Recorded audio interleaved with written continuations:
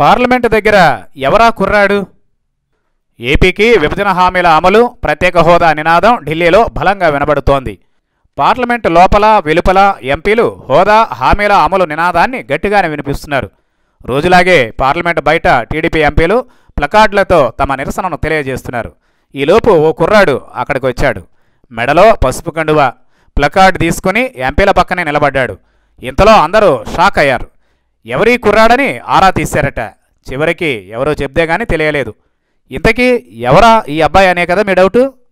Guntur MP Galla Jayadev కుమారుడు సిద్ధార్థ్. ప్రత్యేక హోదా విభజన హామీల కోసం ఎంపీలు చేస్తున్న ఆందోళనకు మద్దతుగా సిద్ధార్థ్ వచ్చాడు. ఎంపీలతో కలిసి ఇలా నిరసనలో పాల్గొన్నాడు. అయితే మీడియాతో సిద్ధార్థ్ చిట్చాట్గా మాట్లాడాడట. తండ్రి వారసత్వాన్ని తీసుకుని రాజకీయాల్లోకి వస్తారా అని అడిగారట.